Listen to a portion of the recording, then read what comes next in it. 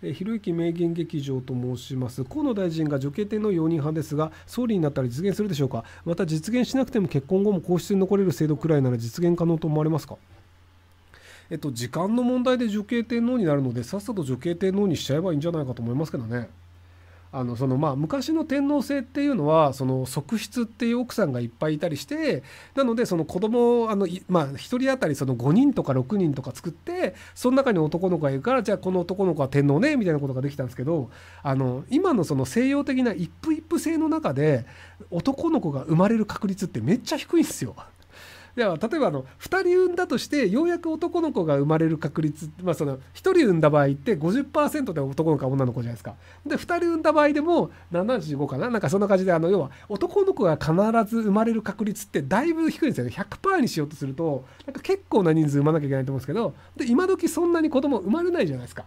なのであのどう考えてもその女系天皇にしないと天皇系ってそのあの天皇の出自って終わっちゃうんですよ。なので時間の問題で女系天皇にはなっちゃうんですよ。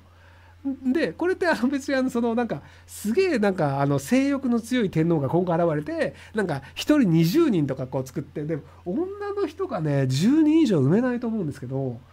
あのインドのあのタージマハールっていうあの有名な大理石でできてるあの、まあ、寺院があるんですけどであれがあのムムターさんっていう人のあの死体が埋まってるんですけどそのムムターさんっていうのがそのあのマハラジャがすごい好きだった奥さんででめちゃめちゃ好きだから戦争とかにも連れてって確かね13人かなんか子供産まされたんですよね。要はそのあの大好きだからどこでも連れてくしどこでも連れてくからまあ子供も作っちゃうんですけどでバンバン生まれるんだけど生まれたすぐ後でもまた子供作らされるっていうのでなんかその13人作ってなんか若いうちに亡くなったみたいなのがあってやっぱねあの男性は何人でも作れるんですけど女性はねやっぱ10人とか作れないと思うんですよね。なのでその結局あの側室制度っていう形で奥さんいっぱいいますっていうのにするか女系天皇にするかっていうもう2択だと思うんですよ。でそれができないのであればもう天皇制なくすしかないんじゃないですか？